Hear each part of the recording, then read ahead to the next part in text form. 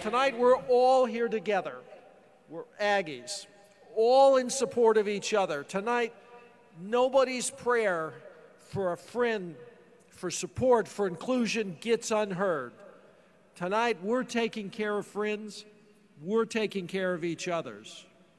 Neighbors, friends, family, community, all gathered here tonight in Kyle Field.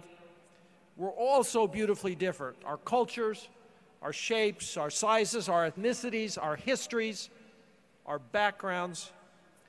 But our differences enrich us. Our differences make us more complete. So many things differentiate, differentiate us and make us individuals. But as for me, I know of no God who sees in races. And that's wonderful because it makes us the same.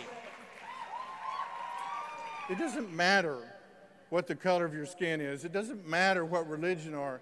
It matters that you're one of us, that you're an Aggie. And that is all that counts with us. And so if you're a purveyor of hate and divisiveness and you want to spew that kind of racism, this is the last campus on earth that you want to come to to do that. Because there is no place and there is no university where love and respect for each other and loyalty and commitment to each other is stronger than Texas A&M University. Thank you.